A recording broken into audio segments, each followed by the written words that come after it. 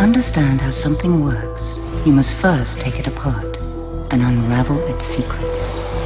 Only then can you build something better.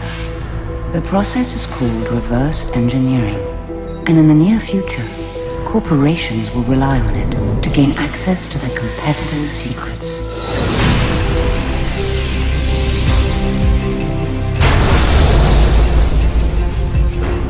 Michael Jennings is the best reverse engineer in the business. All right, what's the pitch? I can't tell you, other than to say that it involves optics. What are you trying to see?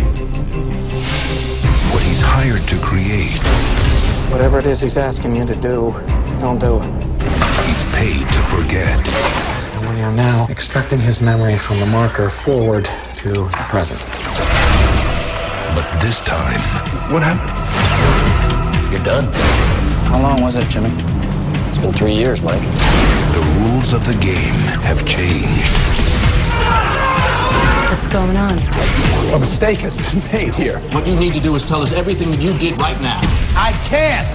You wiped my memory. And all he has are 19 pieces to a puzzle. I just need to find out who sent these items.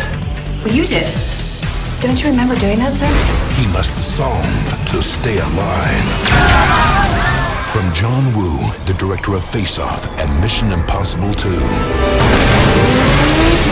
the author who brought us Blade Runner and Minority Report. Our boy didn't give himself these items because he saw happily ever after.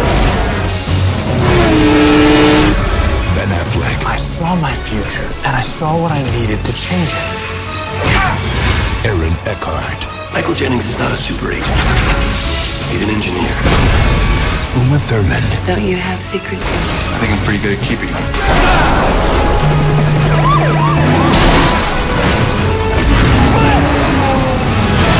Your future awaits you no matter what you do.